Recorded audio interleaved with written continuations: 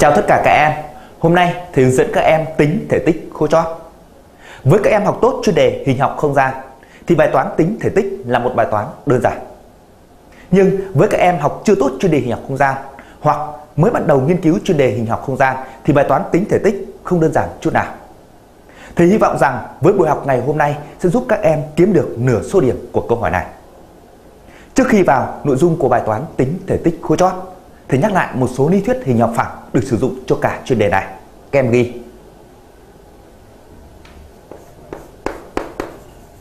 Hình học phẳng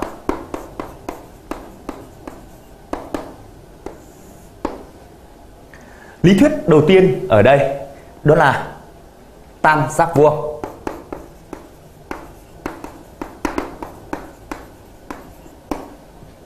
Các em quan sát hình vẽ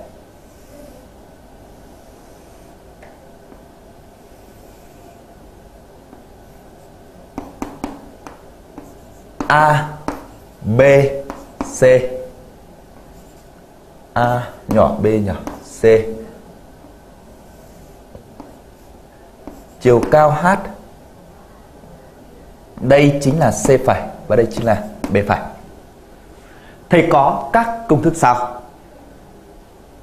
Công thức thứ nhất, đó là A bình bằng B bình cộng với C bình.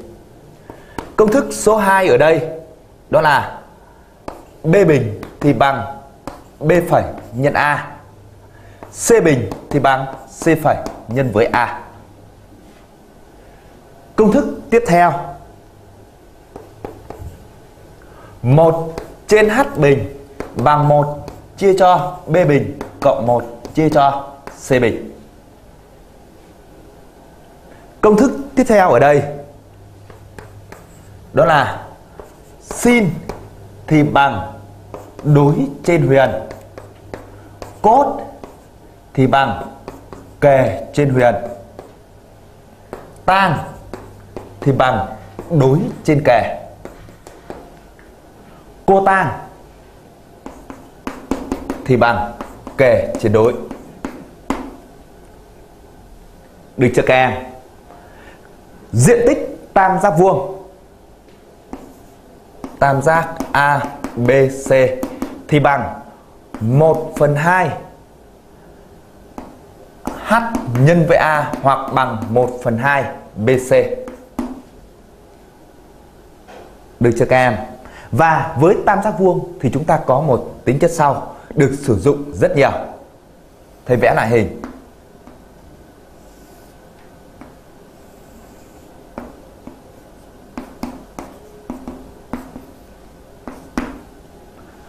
Thì gọi M là trung điểm của BC. Khi đó thì có được AM sẽ bằng nửa cạnh huyền BC. Nghĩa là thầy có được MA bằng MB bằng MC. Và ngược lại, với một tam giác mà có đường trung tuyến bằng 1 phần 2 cạnh BC này thì thầy có được tam giác này là tam giác vuông tại A. Được chưa các em? Thầy cho mình cùng chuyển sang tam giác đều.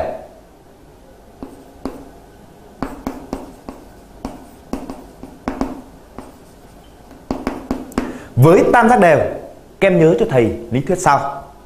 Thứ nhất là chiều cao của tam giác đều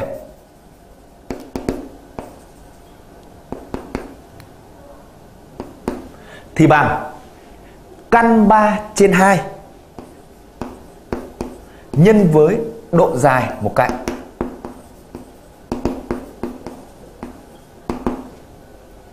Được chưa các em? Thế còn diện tích tam giác đều thì bằng căn 3 trên 4 nhân với độ dài một cạnh bình phương. bình phương. Thầy ví dụ, thầy có tam giác đều cạnh là A, thì thầy có chiều cao sẽ bằng căn 3 trên 2A. Còn diện tích thì bằng căn 3 trên 4A bình phương. Thầy cho mình cùng chuyển sang phần 3 đó là hình vuông.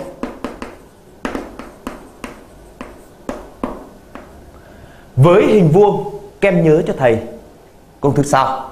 Thứ nhất là đường chéo thì bằng căn 2 nhân với độ dài một cạnh.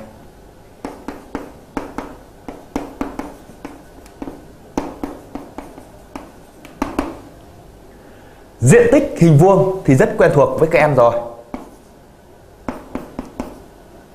Bằng độ dài cạnh bình phương.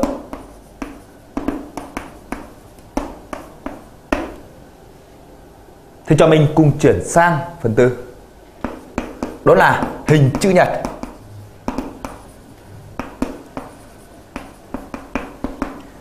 Với hình chữ nhật, kem nhớ cho thầy diện tích hình chữ nhật sẽ bằng chiều dài nhân với chiều rộng.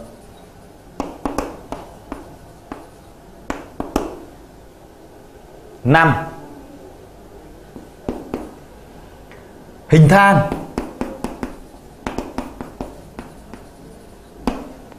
diện tích hình thang bằng 1 phần 2 chiều cao. H ở đây chính là chiều cao. Nhân với đáy nhỏ cộng với đáy lớn. Được cho các em? Thì cho mình tiếp tục chuyển sang hình thoi. 6 hình thoi.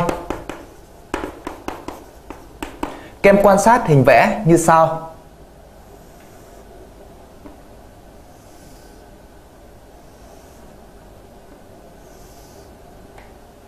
A, B, C, D.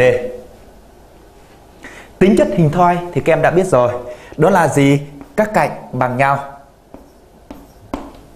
Hai đường chéo vuông góc với nhau và cắt nhau tại trung điểm mỗi đường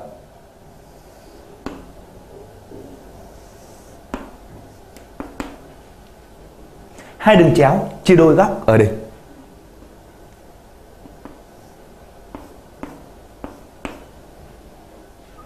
Diện tích hình thoi thường thì chúng ta sẽ sử dụng công thức diện tích hình thoi bằng hai lần diện tích của tam giác ABC.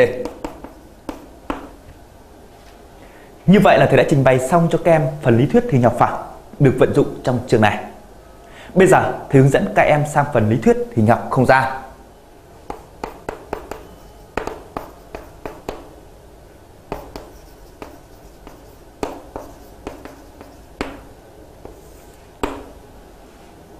Thường thì bài toán tính thể tích đi kèm với điều kiện biết góc giữa đường thẳng và mặt phẳng, biết góc giữa hai mặt phẳng với nhau.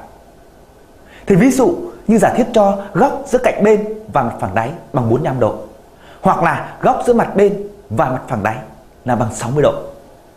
Để khai thác được giả thiết này thì các em cần phải nắm được cách xác định góc giữa đường thẳng và mặt phẳng, cách xác định góc giữa hai mặt phẳng. Thầy hướng dẫn các em cách xác định góc giữa đường thẳng và mặt phẳng.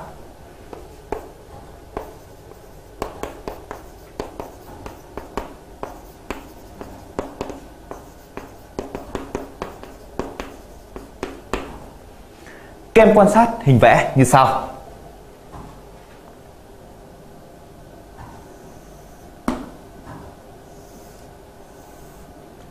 Thầy có đây chính là mặt phẳng P và đây là đường thẳng D. Để xác định góc giữa đường thẳng D và mặt phẳng P, các em làm như sau. Bước thứ nhất, các em xác định giao điểm của đường thẳng D và mặt phẳng P nhé. Xác định giao điểm của đường thẳng D và mặt phẳng P. Thì ví dụ điểm đó là điểm A trên hình vẽ. Đưa cho các em. Bước tiếp theo, các em xác định hình chiếu vuông góc của điểm S bất kỳ nằm trên đường thẳng D lên mặt phẳng P. Thế gọi là điểm H. Được chưa? Xác định hình chiếu vuông góc của điểm S bất kỳ thuộc đường thẳng D lên mặt phẳng P. Và thầy ví dụ là điểm H. Bước tiếp theo, các em chỉ cần nối hình chiếu và điểm chung. Được chưa? Khi đó thì kem có được góc này chính là góc giữa đường thẳng D và mặt phẳng P. Nha. Nối hình chiếu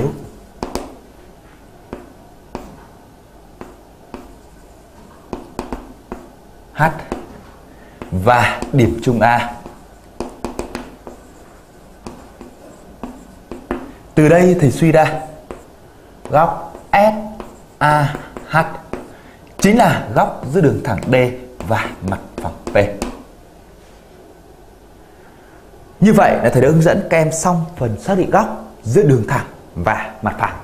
Thì nhắc lại một lần nữa là chúng ta gồm có 3 bước. Bước thứ nhất, xác định điểm chung của đường thẳng và mặt phẳng. Bước số 2, xác định hình chiếu vuông góc của một điểm bất kỳ nằm trên đường thẳng D lên mặt phẳng P. Thầy gọi điểm đó là điểm H. Nối hình chiếu và điểm chung thì thầy có được góc giữa đường thẳng và mặt phẳng. Các em lưu ý cho thầy, vào bài toán thì tất cả các điểm này là đã có sẵn trên hình vẽ. Bây giờ, thầy hướng dẫn các em xác định góc giữa hai mặt phẳng. Cách xác định góc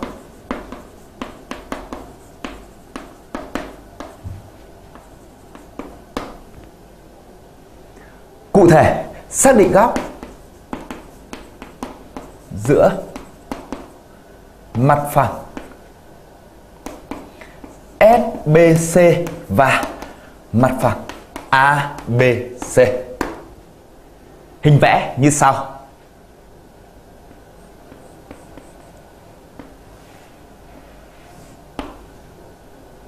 A B C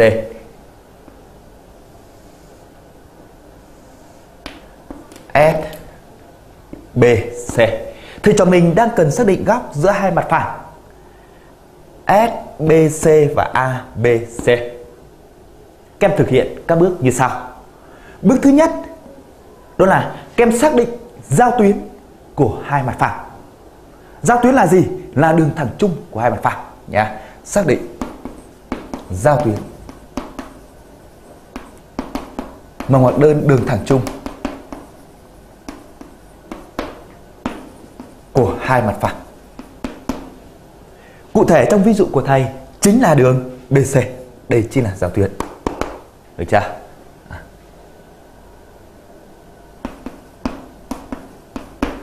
BC.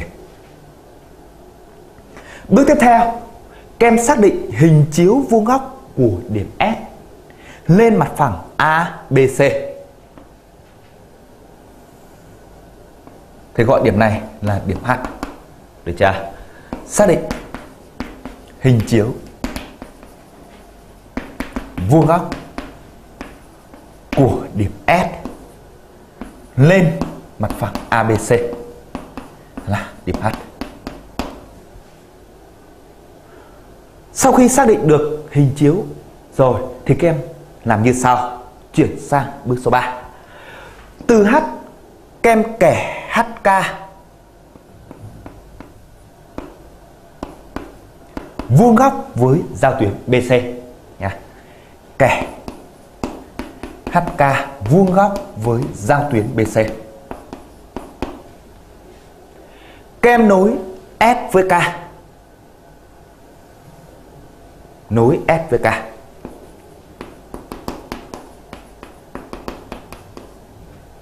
Khi đó thì có được góc này.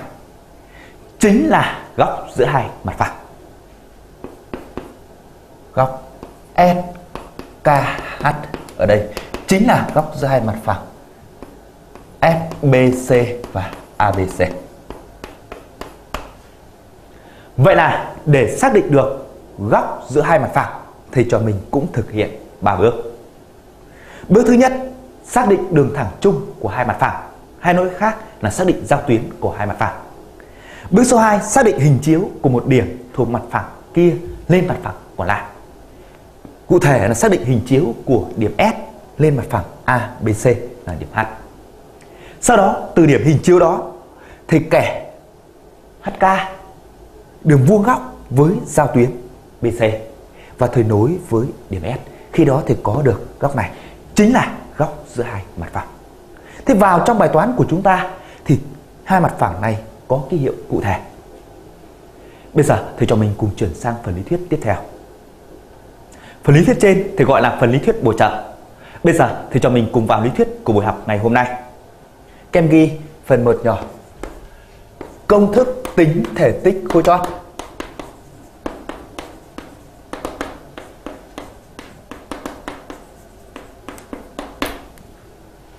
V bằng 1 phần 3 chiều cao nhân diện tích đáy. Như vậy, để tính được thể tích khối chót thì cho mình cần tìm hai yếu tố. Đó là chiều cao và diện tích đáy. Thầy có sơ đồ tính toán như sau để các em dễ nhớ.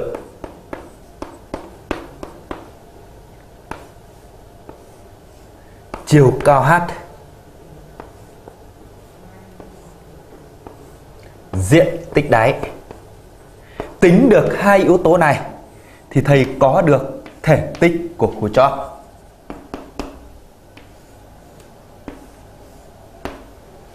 Các em lưu ý cho thầy vào bài toán cụ thể thì nếu yếu tố nào dễ tính thì kem tính trước, còn yếu tố nào khó tính thì kem tính sau. Không nhất thiết là phải tính chiều cao trước. Được chưa? Việc tính diện tích đáy thì các em chỉ cần vận dụng các công thức hình học phẳng mà thầy đã cung cấp cho các em. Thế còn để tính được chiều cao thì thầy cho mình cần phải xác định được chiều cao rồi mới tính. Bây giờ thầy hướng dẫn các em cách xác định chiều cao bởi mỗi hình chóp thì chiều cao là khác nhau. Hai, cách xác định chiều cao.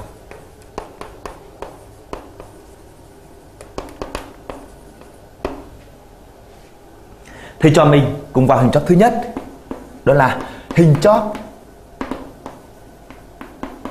có một cạnh Vuông góc với đáy. Kem quan sát, hình vẽ thầy phát họa như sau. Thầy phát họa cho các em trong trường hợp đáy là tam giác. Nếu giả thiết cho cạnh SA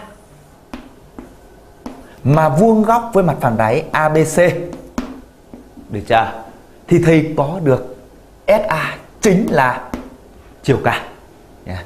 rồi, nếu có SA mà vuông góc bằng đáy ABC thì suy ra H ở đây chính bằng SA thầy cho mình cùng chuyển sang hình chóp thứ hai. Hình chóp có hai mặt cùng vuông góc với đáy đáy kem quan sát hình vẽ thầy phát họa như sau. Và thầy cũng phát họa trong trường hợp đáy là tam giác.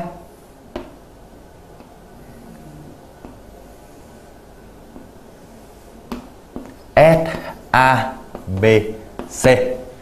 Nếu giả thiết cho mặt bên SAB AB vuông góc với mặt phẳng đáy ABC và mặt bên SAC SAC vuông góc với mặt phẳng đáy ABC được chưa? Từ đây thầy suy ra giao tuyến của hai mặt bên. Hay nói cách khác, đường thẳng chung của hai mặt bên chính là chiều cao. Và cụ thể, trong ví dụ của thầy, chính là đường SA được chưa? Từ đây thầy suy ra SA chính là chiều cao H. Thầy cho mình cùng chuyển sang hình chóp thứ ba. Đó là hình chóp có một mặt bên vuông góc với mặt đáy. Kem quan sát hình vẽ thầy phát họa như sau thì cũng phác họa hình vẽ trong trường hợp đấy là tam giác.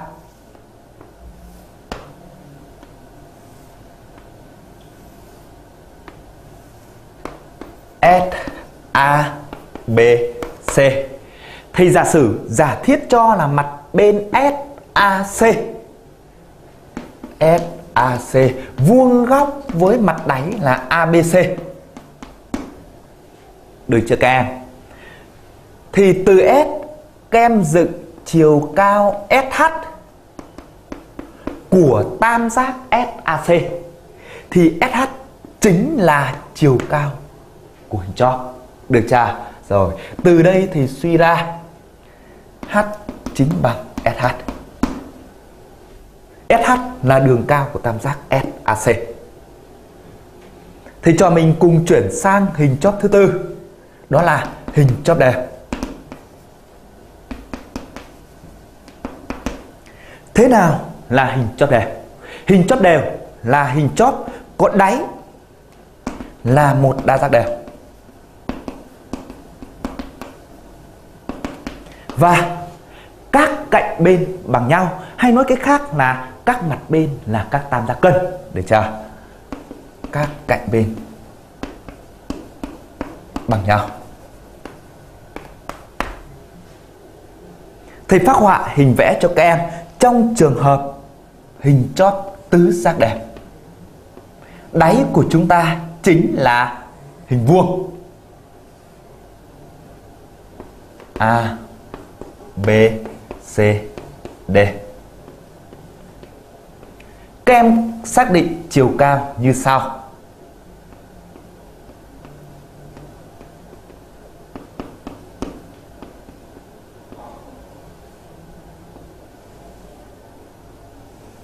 Các em xác định tâm của đáy Với đáy là hình vuông Thì tâm của đáy chính là giao điểm của hai đường chéo Được chưa? Còn nếu đáy là tam giác đều Thì tâm của đáy Chính là trùng với trọng tâm Rồi trùng với trực tâm Phải không các em? Từ đây thì suy được ra fo này Chính là chiều cao Được chưa? À, thì có được chiều cao chính bằng FO O là tâm của đáy Thầy cho mình cùng chuyển sang hình chóp thứ năm.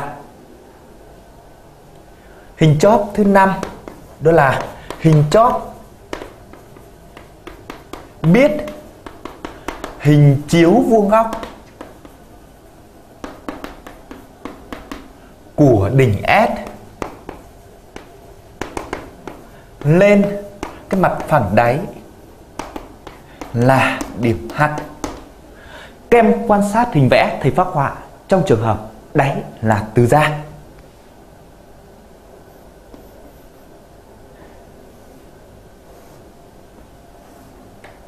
A, B, C, D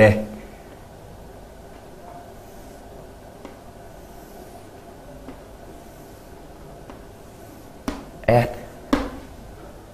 Nếu giả thiết cho hình chiếu vuông góc của điểm S lên mặt phẳng đáy là điểm H như trên bảng. Thì thầy có được chiều cao chính là SH được chưa các em? Thì có được bằng SH thầy cho mình cùng chuyển sang hình chót thứ sáu. Hình chót biết, đỉnh S cách đều.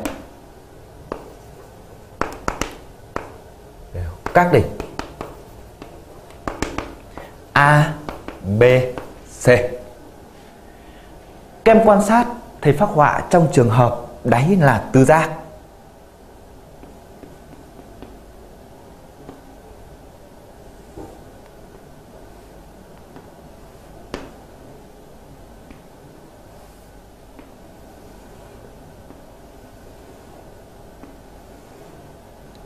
S A, B, C, D Giả thiết cho điểm S cách đều, các đỉnh A, B, C thì thầy xác định chiều cao như sau. Trước tiên thầy xác định tâm của tam giác ABC.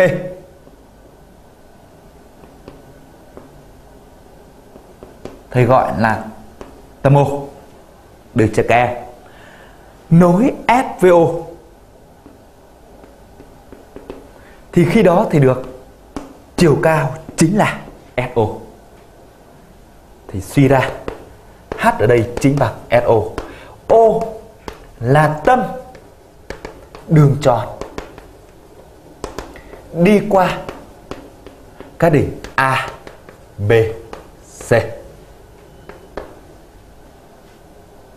Vậy là thầy đã trình bày cho kem xong phần cách xác định chiều cao của hình tròn.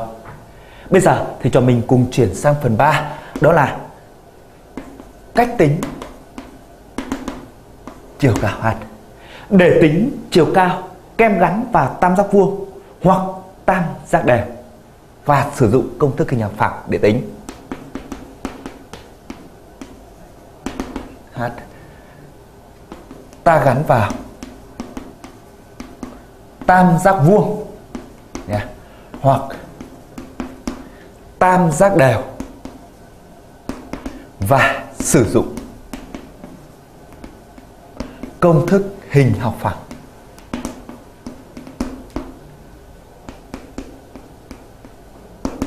Để tính. Công thức hình học phẳng thì thầy đã hướng dẫn các em trong lúc đầu giờ. Vậy là thầy đã trình bày cho các em xong phần lý thuyết. Thầy tóm tắt lại phần lý thuyết của buổi học ngày hôm nay, gồm các nội dung chính như sau. Nội dung chính thứ nhất, đó là một số công thức hình học phẳng nội dung chính thứ hai, đó là cách xác định góc giữa đường thẳng và mặt phẳng. Cách xác định góc giữa hai mặt phẳng nội dung chính thứ ba đó là cách xác định chiều cao của các hình tròn để học tốt được chuyên đề này thì các em về nhà phải học thuộc cho thầy các lý thuyết đó. Bây giờ thầy cho mình cùng chuyển sang một số ví dụ. Thầy cho mình cùng vào ví dụ thứ nhất, thầy trích từ đề thi đại học khối B năm 2004 cho hình chóp tứ giác đều SABCD có cạnh đáy bằng A, góc giữa cạnh bên và mặt phẳng đáy bằng phi. Phi lớn hơn 0 và nhỏ hơn 90 độ. Tính thể tích của khối chóp SABCD theo A và phi. Kem nháp thật nhanh cho thầy. Kem xong chưa? Bài toán của thầy cho mình thuộc bài toán tính thể tích khối chóp. Để tính được thể tích khối chóp thì cho mình cần đi tìm hai yếu tố chiều cao và diện tích đáy. Giả thiết cho góc giữa cạnh bên và mặt đáy bằng phi. Vậy là các em phải nhớ ngay đến cách xác định góc giữa đường thẳng và mặt phẳng mà thầy đã hướng dẫn các em trong phần lý thuyết. Thì nhắc lại một lần nữa để các em thuộc. Đây là mặt phẳng P. Đường thẳng D. để xác định được góc giữa đường thẳng D và mặt phẳng P. Bước thứ nhất, các em xác định giao điểm của đường thẳng D và mặt phẳng P. Bước số 2, các em xác định hình chiếu vuông góc của điểm S bất kỳ nằm trên đường thẳng D lên mặt phẳng P. Thì gọi là điểm H. Sau đó các em nối hình chiếu và điểm chung thì khi đó thầy có được góc này chính là góc giữa đường thẳng D và mặt phẳng P. Bây giờ thầy cho mình cùng vận dụng lý thuyết này vào ví dụ của chúng ta. Giả thiết cho hình chót tứ giác đều. Nghĩa là hình chót có đáy là hình vuông, các cạnh bên bằng nhau. Theo cách xác định chiều cao thì chiều cao chính là đường SO. Với O là tâm của đáy, là giao điểm của hai đường chéo. Bây giờ thầy cho mình cùng phát họa hình vẽ. Các em dựng cho thầy đáy trước. Đáy là hình vuông. Có cạnh bằng A.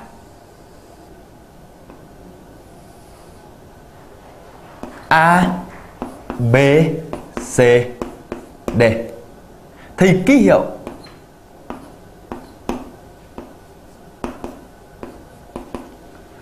Và thầy lưu ý luôn cho các em Đó là gì? Khi giả thiết cho đáy là hình vuông Là hình chữ nhật Là hình thoi Là hình bình hành Thì các em đều biểu diễn cho thầy hình bình hành Có hai nhớ đứt Được chưa? Tiếp theo Để vẽ được hình chót Thì chúng ta sẽ vẽ chiều cao nhé Chiều cao Sau vẽ đáy là vẽ chiều cao Thì theo cách xác định chiều cao Thì đã hướng dẫn các em đây chính là tâm O. SO chính là chiều cao. Vậy là thầy dựng đường SO vuông góc với mặt phẳng đáy.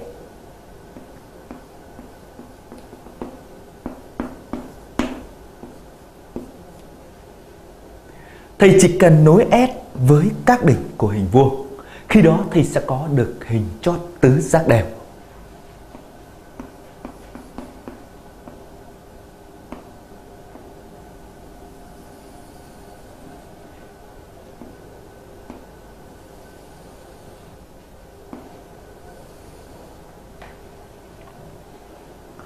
Qua ví dụ này Thầy tổng hợp thành lý thuyết cách vẽ hình chóp như sau. Để vẽ được hình chóp, Bước thứ nhất là kem vẽ đáy trước. Được chưa? Sau đó kem dựng chiều cao. Rồi và kem mới dựng các cạnh bên. Tiếp theo thầy cho mình cùng xác định góc giữa cạnh bên và mặt phẳng đáy. Thầy ví dụ là thầy sẽ xác định góc giữa cạnh bên SB với mặt phẳng đáy ABCD. Điểm chung hay nói khác là giao điểm của cạnh bên SB với mặt phẳng đáy ABC chính là điểm B. Hình chiếu vuông góc của điểm S nằm trên cạnh SB lên mặt phẳng đáy chính là điểm O. Phải không các em?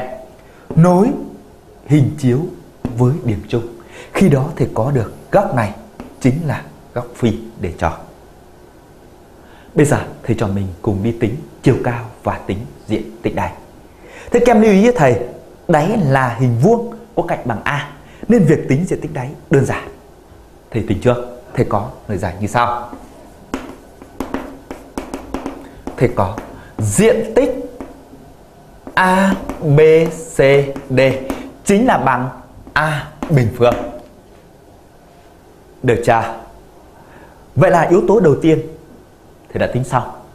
Bây giờ thì cho mình cùng đi tính yếu tố thứ hai, chiều cao. SO nhé. Tính SO. Như trong phần lý thuyết thầy đã hướng dẫn các em để tính được chiều cao thì các em cứ gắn vào một tam giác vuông hoặc là tam giác đời để tính. Với bài này, thầy sẽ gắn vào tam giác vuông SOB biết một góc là bằng phi. Được chưa? Thầy đi xét tam giác vuông SOB có có. Được góc B là bằng phi. Chính là góc giữa cạnh bên và mặt phẳng đấy. Cạnh OB này là thầy tính được, đúng chưa? OB thì bằng 1 phần 2 BD vì O là trung điểm của BD đúng không các em? Rồi BD lại là đường chéo của một hình vuông có cạnh bằng A. Trong phần lý thuyết thì được hướng dẫn các em đường chéo của hình vuông thì bằng căn 2 nhân với độ dài cạnh, đúng chưa? Vậy thì thầy có được kết quả bằng 1 phần 2 căn 2 nhân với độ dài cạnh là A từ đây thì suy được ra OB của thầy chính là căn 2 trên 2 à có được OB là căn 2 trên 2 à có được góc B. Thầy sử dụng hàm số ta là thầy tính được SO đúng chưa các em? Thầy có tan của góc phi xếp bằng. FO chia cho OB. Từ đây thì suy được ra FO sẽ bằng OB nhân tan góc phi. kết quả bằng OB là bằng căn 2 trên 2A nhân với tan của phi. Và đây chính là chiều cao. Vậy là thầy đã tính xong chiều cao. Có diện tích đáy, có chiều cao. thì cho mình cùng vận dụng công thức thể tích của khối chóp. V, S, A, B, C, D bằng 1 phần 3 chiều cao nhân với diện tích đáy. Thầy viết lại công thức. Và kết quả là bằng 1 phần 3. Chiều cao ở đây chính là căn 2 trên 2 A tăng phi. Nhân với diện tích đáy chính là A bình phương. Kem tiến hành rút gọn thì kem có được kết quả ở đây chính là căn 2 A mũ 3 chia cho 6 tan phi. Đơn vị thể tích. Vậy là thầy đã tính được thể tích của khối chót theo A và phi. Và thầy cũng hoàn thành cho các em xong ví dụ thứ nhất. Ví dụ thứ nhất này để cho hình chót của chúng ta là hình chót tứ giác đẹp. Thầy lưu ý cho các em, để tính được thể tích khối chóp, thì bước đầu tiên các em phải dựng được hình. Sau đó, các em đi tính hai yếu tố chiều cao và diện tích đáy. Bây giờ thầy cho mình cùng chuyển sang ví dụ tiếp theo. Ví dụ số 2 thì trích từ đề thi Đại học Khối A A1 năm 2014. Cho hình chóp SABCD có đáy ABCD là hình vuông có cạnh bằng A. SD bằng 3A trên 2, hình chiếu vuông góc của điểm S lên mặt phẳng đáy ABCD là trung điểm của AB. Tính thể tích khối chóp SABCD. Kem nháp thật nhanh cho thầy. Kem xong chưa? Bài toán của thầy cho mình vẫn thuộc bài toán tính thể tích khối chóp. Để tính được thể tích khối chóp trước tiên thầy cho mình cùng phát họa hình vẽ. Sau đó đi tìm hai yếu tố diện tích đáy và chiều cao. Trước tiên thầy cho mình cùng phát họa hình vẽ. Để vẽ hình chóp kem vẽ đáy trước. Đáy là hình vuông có cạnh bằng A. Kem lưu ý cho thầy để vẽ đáy là hình vuông, kem biểu diễn cho thầy hình bình hành có hai nhà đứt A, B, C, D. Kem ký hiệu các cạnh bằng nhau. Bằng A, được chưa? Ký hiệu góc vuông. Tiếp theo thì cho mình cùng đi dựng chiều cao. Kem lưu ý là gì? Giả thiết cho hình chiếu vuông góc của điểm S lên mặt phẳng đáy là trung điểm của AB. Thì gọi trung điểm này là H thì thầy có SH chính là chiều cao. Theo cách xác định chiều cao mà thầy để hướng dẫn các em. Thầy lấy H là trung điểm của AB. Được chưa các em? Thầy dựng chiều cao SH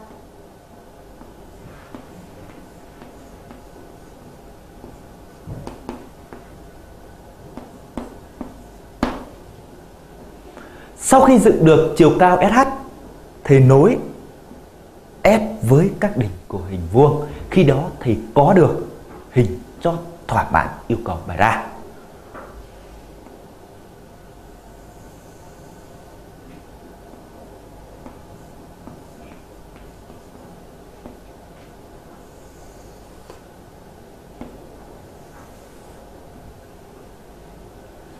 Giả thiết cho SD là bằng bao nhiêu? 3A trên 2 Vậy là thầy đã vẽ xong hình vẽ. Bây giờ thầy cho mình cùng đi tìm hai yếu tố, Đó là diện tích đáy và chiều cao SH Đáy là một hình vuông, đã biết độ dài cạnh, Nên thầy tính được diện tích đáy một cách rất dễ dàng. Thầy tính trước, Thầy có lời giải sau. Thầy có diện tích đáy bằng diện tích của hình vuông ABCD và bằng A bình phương. Tiếp theo thì cho mình cùng đi tính chiều cao SH. Như trong phần lý thuyết thầy đã hướng dẫn các em, để tính được chiều cao thì cho mình gắn vào tam giác vuông hoặc tam giác đều để tính. Thầy sẽ gắn chiều cao SH vào tam giác vuông đã biết cạnh SD. Đó là tam giác vuông SHD. Tam giác này vuông tại H. Vì sao? Vì SH là chiều cao nên sẽ vuông góc với mặt phẳng đáy. Mà đã vuông góc với mặt phẳng đáy thì đương nhiên vuông góc với HD nằm trong mặt phẳng đáy. Phải chưa các em? À, vậy thì thầy sẽ có tính chiều cao H là bằng SH. Thầy sẽ đi xét xét tam giác vuông SHD. Tam giác này vuông tại H. Tại H. Thì có SD. D cho rồi, đúng không? SD ở đây là bằng 3A trên 2. Tiếp theo thì tìm một góc hoặc là tìm một cạnh nữa là thầy tính được. Thế các em nhìn này, HD việc tính góc không thể tính được. Vậy thì thầy xem có tính được cạnh nữa hay không? Thế các em quan sát cho thầy cạnh HD này. Cạnh HD này là thầy tính được bởi thầy gắn vào tam giác vuông. Các em nhìn nhá. AHD tam giác này vuông tại A. AD biết rồi, AD bằng A. AH vì H là trung điểm của AB nên AH sẽ bằng A trên 2. Áp dụng công thức Pythagore thì tính được cạnh huyền HD. Phải chưa? Rồi, thì có có HD thì bằng căn bậc 2 của AD bình phương cộng với AH bình phương. Phải chưa các em? Và kết quả của thầy cho mình là bằng căn bậc 2 của A bình cộng với A trên 2 đóng vào ngoặc tất cả bình. Kem tính toán thì kem có được kết quả ở đây chính là A căn 5 trên 2. Vậy là thầy đã tính được gì? HD. Có HD, có SD. Tiếp tục dùng công thức Pythagore thì tính được cạnh vuông còn lại đó là gì? SH. Phải chưa? Thì suy được ra SH của chúng ta chính bằng căn bậc 2 của cạnh huyền SD bình phương trừ đi cạnh góc vuông HD bình phương. Bây giờ thầy cho mình chỉ cần thay số thôi. Bằng căn bậc 2 của SD để cho 3A trên 2 tất cả bình. Trừ đi A căn 5 trên 2 tất cả bình kem rút gọn thì kem có được kết quả ở đây chính bằng căn bậc 2 của A bình và bằng A. Vậy là chiều cao của thầy chính là bằng à Có chiều cao, có diện tích đáy. Việc áp dụng công thức thể tích rất đơn giản. Thầy có thể tích của khối chóp SABCD bằng 1 phần 3 chiều cao là A nhân với diện tích đáy là A bình và bằng A mũ 3 trên 3 đơn vị thể tích các em lưu ý viết cho thầy từ đơn vị thể tích. Vậy là thầy đã hoàn thành cho các em xong. Ví dụ số 2 thì trích từ đề thi Đại học khối A A1 năm 2014 bây giờ thầy cho mình cùng chuyển sang ví dụ tiếp theo. Thầy cho mình cùng vào ví dụ số 3 Thầy trích từ đề thi Đại học khối D năm 2013 Cho hình chóp SABCD Có đáy là hình thoi bằng A. SA vuông góc với mặt phẳng đáy. Góc BAD bằng 120 độ. M là trung điểm của BC Góc SMA bằng 45 độ. Tính thể tích khối chóp SABCD theo A. Kem nhát thật nhanh cho thầy. Kem xong chưa? Bài toán của thầy cho mình vẫn thuộc bài toán tính thể tích khối chóp. Thì nhắc lại các bước tính thể tích khối chóp. Bước thứ nhất, em vẽ hình. Bước thứ hai là kem đi xác định hai yếu tố, chiều cao và diện tích đáy. Bây giờ thầy cho mình cùng tiến hành vẽ hình. Kem lưu ý thầy để vẽ được hình chóp các em vẽ đáy trước đáy là hình thoi có cạnh bằng A A B C D thì ký hiệu các cạnh bằng nhau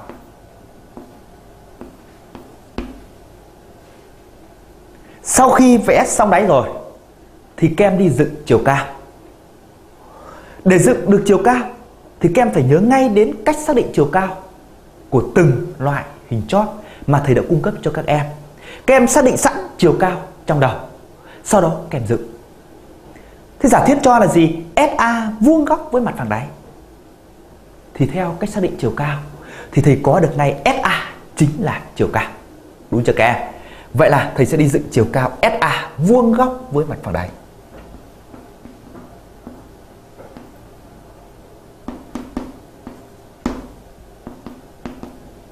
Sau khi xác định được chiều cao rồi, thì các em chỉ cần nối S với các đỉnh còn lại là các em có được hình tròn cần tìm. Nối S với D.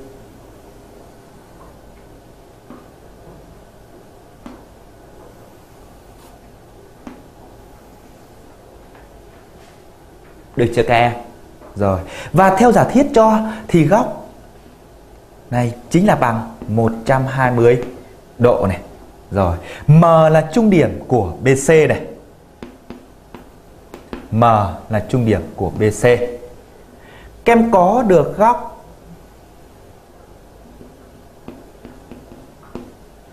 S MA giả thiết cho 45 độ. Vậy là thầy đã phát họa xong phần hình vẽ. Bây giờ thầy cho mình cùng đi tìm hai yếu tố. Chiều cao chính là SA. Diện tích đáy. Kem lưu ý cho thầy, đáy là hình thoi thì theo cách xác định diện tích, thầy đã hướng dẫn các em trong phần lý thuyết. Diện tích hình thoi sẽ bằng hai lần diện tích của tam giác ABC. Các em quan sát cho thầy tam giác ABC. Tam giác ABC trước tiên là một tam giác cân tại đỉnh B vì AB bằng BC. Đúng chưa? Thế nhưng theo giả thiết các em nhìn nhé, góc A này là bằng 120 độ. Do đó thầy có được góc này chính là 60 độ. Phải chưa? Rồi, vậy là tam giác ABC, một tam giác cân có một góc bằng 60 độ sẽ là tam giác gì? Đều. Việc tính diện tích tam giác đều quá đơn giản rồi. Và thầy có lời giải cụ thể như sau. Dạ. Thầy có tam giác ABC có có AB bằng BC bằng A đúng chưa? Rồi, góc BAC bằng 1 phần 2 góc BAD Góc BAD để cho là bằng 120 độ, Vậy là bằng 60 độ Từ hai lý do này thì suy được ra tam giác ABC là tam giác đều cạnh bằng A. Từ đây thì tính được diện tích đáy. Diện tích ABCD bằng hai lần diện tích tam giác ABC. Diện tích của tam giác đều thầy đã cung cấp cho các em công thức bằng 2 nhân với căn 3 trên 4 độ dài cạnh tam giác đều bình phương chính là A bình phương.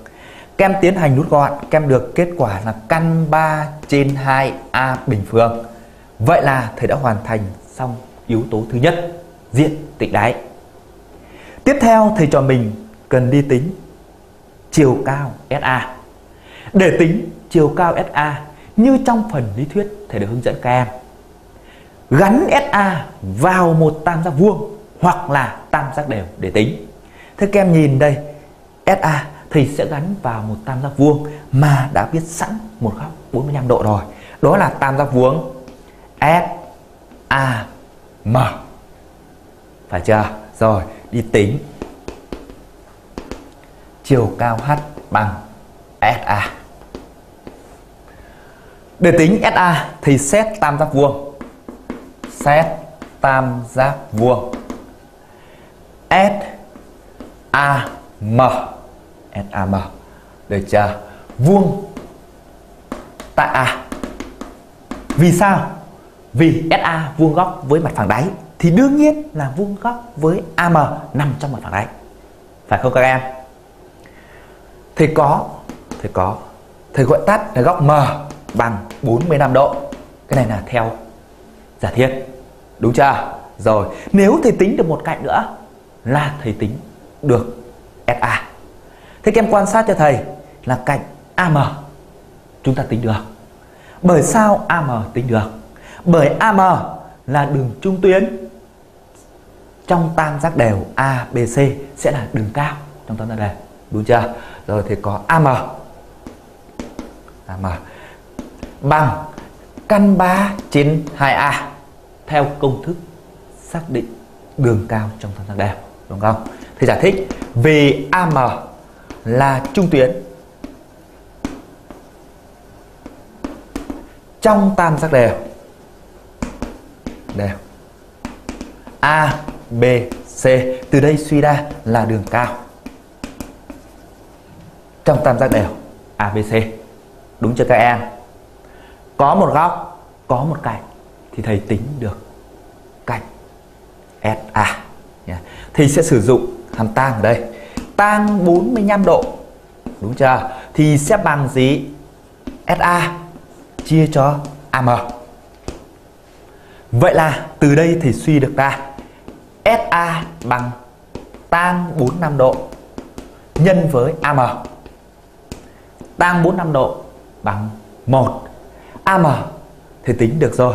Đúng chưa? AM ở đây chính là bằng căn 3 trên 2 A. Vậy là thầy đã tính xong phần chiều cao.